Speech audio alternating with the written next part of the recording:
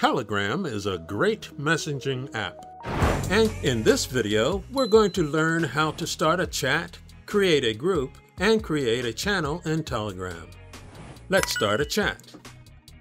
In iPhone, upon opening, Telegram has various tabs along the bottom menu. Select Chats to display any messages already sent or received. When you open the program, you will see a list of contacts who recently installed the program.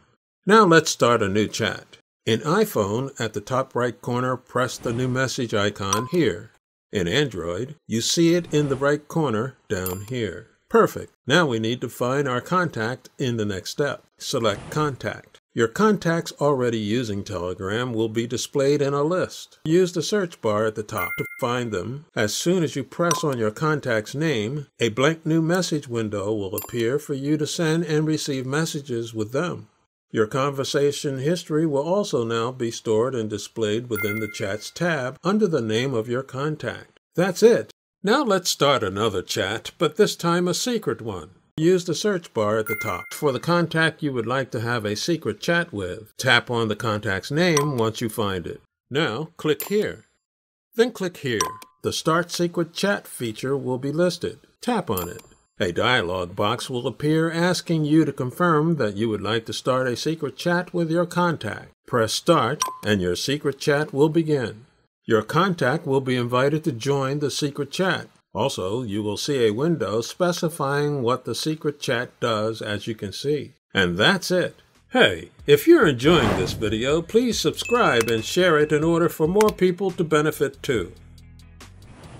Now, it's time to create a group in Telegram. Let's start a new group.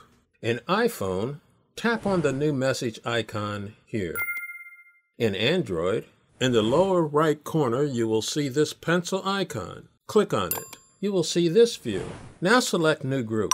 Your contact list will now appear, allowing us to move on to the next step. Tap on the name of each person you want to add to the group. Notice Telegram groups can have up to 200,000 members. Once you have selected all of the contacts you would like to add, tap on Next, or, in the case of Android, on the arrow icon here.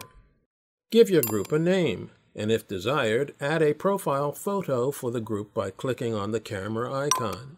Finally, press Create, and your new group chat will be opened and can be found under the Chats tab for easy reference. But let's say you have 200,001 friends. Don't worry, Telegram's got you covered with Telegram channels. Select the new message icon in the Chats tab here. Now choose New Channel. A brief message will appear explaining what a channel does. Tap Create Channel to get started. Now give your channel a name. You can even add a description to tell people what the channel is all about before they subscribe. Done? Let's move on by tapping on Next, or in Android, in the checkmark. If you would like anyone to be able to find and subscribe to your channel, choose Public. As long as no one else is already using the same words or phrase, you can customize the invite link here. Telegram will tell you if it's available or not. However, if your channel is going to be invite only, then use the private option. A link will automatically be created and can be shared by using the Share Link button. Once you have configured your channel and have a link for it, tap Next or checkmark in Android. Every channel needs an audience, so start by choosing some or even all of your contacts right away. Then tap Next, or in Android, the checkmark. That's it. Your new channel is live and now broadcasting. This has been Rod from Burn to Learn. Thanks for watching.